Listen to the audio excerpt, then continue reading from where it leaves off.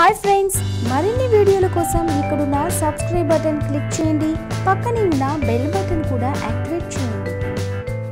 CBI మాజీ JD Lakshminarayana ఇరు తెలుగు రాష్ట్రాలకు సుపరిచితమే. గతంలో జగన్ అక్రమాస్తుల కేసు విచారణ సందర్భంగా లక్ష్మీనారాయణ పేరు ప్రముఖంగా వినిపించింది. ఆ తర్వాత ప్రజాసేవ చేయాలనే ఉద్దేశంతో తన పదవికి రాజీనామా చేసిన లక్ష్మీనారాయణ జనసేన తీర్థం పుచ్చుకున్నారు.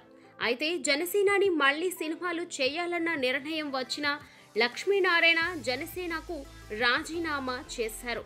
బీజేపీలో చేరేందుకు లక్ష్మీనారాయణ పావులు కదుపుతున్నారన్న ప్రచారం జరుగుతోంది.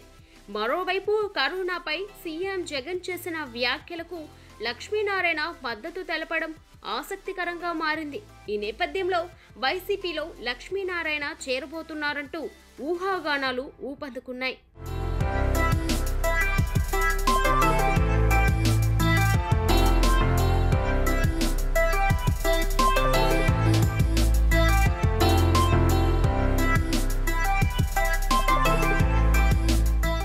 ఈ క్రమంలోనే ఈ అంశంపై లక్ష్మీనారాయణ క్లారిటీ ఇచ్చారు.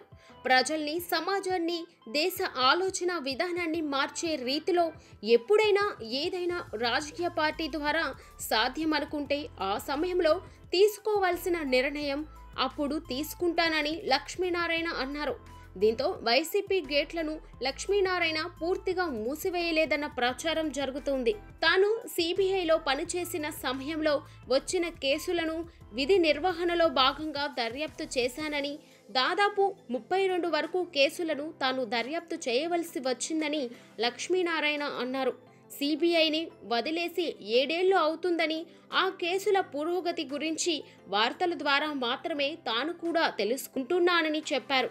ఆ కేసుల విచారణ ఎల్లప్పుడూ కొనసాగుతూనే ఉంటుందని అన్నారు. ప్రస్తుతం ఆ కేసుల పరిస్థితిపై తనకు అవగాహన లేదన్నారు లక్ష్మీనారాయణ.